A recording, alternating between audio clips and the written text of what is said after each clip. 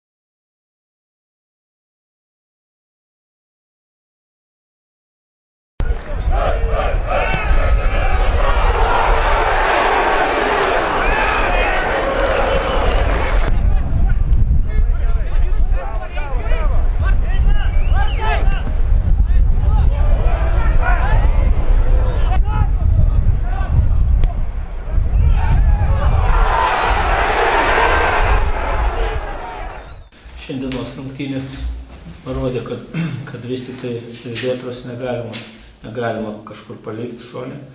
Vis tik tai, vis tik tai nusi, nusiteikimas matėsi ir, ir, ir nepavyko žaisti to, to žaidimo, ką, ką, mes, ką mes rodėm, sakykime, praeitose rungtynėse čia nu, namuose. Vat, ne, nepavyko kraštuose gerai užatakuoti. E, aišku, iš, išjungtas buvo e, bička vat, ir, ir to pasiekoja, sakykime, žaidimas į priekį nesigavo. Aišku, mom- momentais, momentais galbūt e, trūko tų momentų, sakykime, prie varžovų vartų, bet buvo jų, reikėjo tik tai iš, išpildyti. Išpildyti reikėjo ir Tomkevičius momentas, ir Sasnausko momentas tikrai, tikrai neblogi buvo.